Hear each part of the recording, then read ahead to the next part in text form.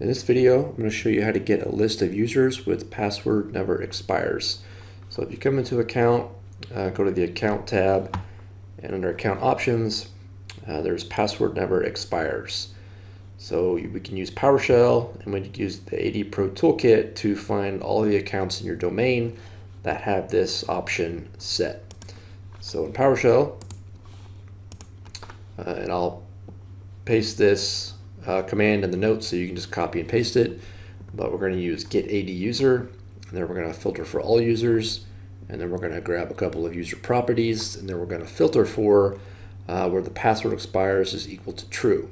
And then we're just going to uh, use the select command there to get a couple of user, uh, to, to display only some specific user fields. So I'll run this, and you can see here uh, the distinguished name, the username, and the uh, account status, but this is a list of all the accounts in my domain that have the password set to never expire. So we'll come into, let's see, Copeland. We'll just verify it under management. So I'm going to look at Willie Hodges. That's one of the accounts the PowerShell listed, and you can see it's set to never expires. So that's PowerShell. Uh, we can also do this with the AD Pro Toolkit. Just come into user reports and then under password status, click on users with a password set to never expire. And you run this on the entire domain, just leave it as default and click run.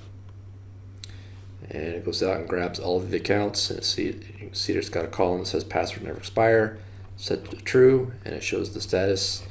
So that is a list of all the accounts from here.